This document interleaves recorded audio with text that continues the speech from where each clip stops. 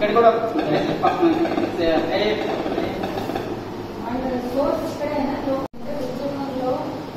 ఇది చేస్తా చేస్తా ఉండేటప్పుడు హెల్దీగా మనం చూడాలి అండ్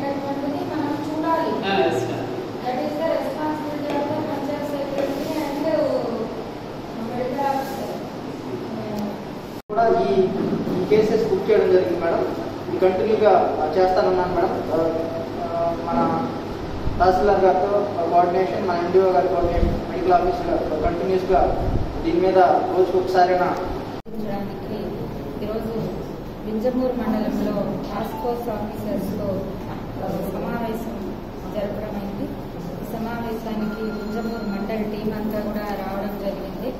ప్రభుత్వం ఏవైతే మార్గదర్శకాలు నిర్దేశించిందో అన్ని జీవోల ప్రకారంగా అందరు అధికారులు కూడా సమన్వయంతో పనిచేయాలని అధికారులందరికీ కూడా ఆదేశించడం జరిగింది.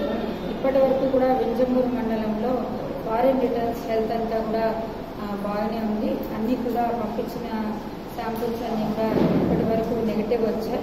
అయినప్పటికీ కూడా ఇక్కడ కొంచెం బార్డర్ మండలం కాబట్టి అధికారులందరినీ కూడా పటిష్టంగా అందరూ కూడా సమన్వయంతో గ్రామాల్లో శానిటైజేషన్ కానీ అట్లాగే ప్రజలకి విస్తృతంగా దీని మీద ప్రచారం చేయడము సోషల్ డిస్టెన్స్ పాటించడము అట్లాగే జిల్లాలో వన్ ఫార్టీ ఫోర్ సెక్షన్ ఉంది కాబట్టి ఎవరూ కూడా గుంపులు గుంపులుగా ఉండరాదని చెప్పి కూడా ఈరోజు అధికారులందరికీ కూడా సూచనలు ఇవ్వడం జరిగింది.